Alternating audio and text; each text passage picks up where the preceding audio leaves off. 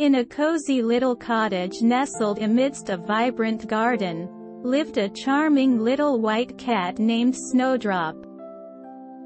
Her soft, fluffy fur was as white as freshly fallen snow, and her sparkling blue eyes could melt even the iciest heart.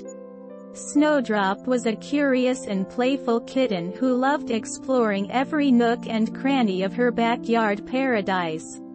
One sunny afternoon, as she scampered through the tall grass, she encountered a friendly robin named Chirp.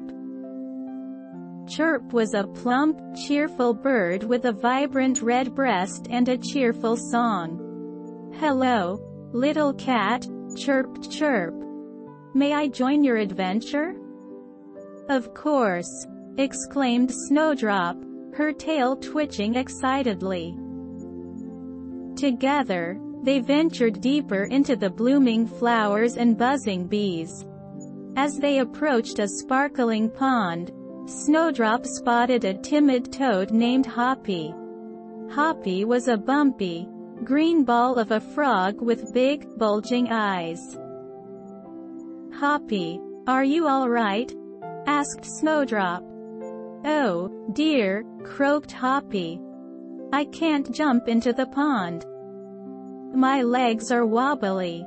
Don't worry, Hoppy, said Chirp. I'll call for help. With a cheerful chirp, Chirp summoned a wise old owl named Hootie. Hootie had sharp, golden eyes and a fluffy, white face. Who, who, hooted Hootie? What's the trouble, my friends? Upon hearing Hoppy's plight, Hootie used his strong talons to gently lift the toad into the sparkling water. Hoppy was overjoyed and showered the owl with thankful croaks. As the sun began to set, casting long shadows across the garden, Snowdrop and her new friends decided to part ways but not before they made a promise to meet again soon for more exciting adventures. Snowdrop returned to the cottage, tired but filled with the warmth of friendship.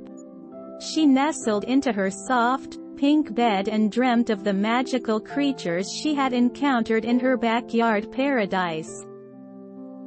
And so, the little white cat with blue eyes became known as Snowdrop the Explorer the fearless adventurer who had discovered the wonder and beauty of her world.